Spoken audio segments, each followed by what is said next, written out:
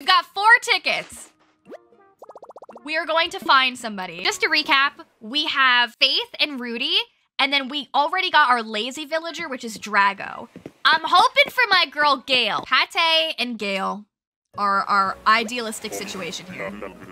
But there are tons of others. There are tons of other good ones. Let's see. Let's see. Let's go. Okay, I'm nervous. I'm nervous. I'm nervous. I'm nervous. I'm nervous. I'm nervous.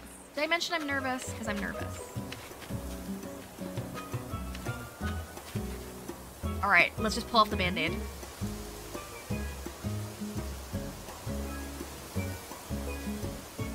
I winning this game? Am I winning? I'm literally winning.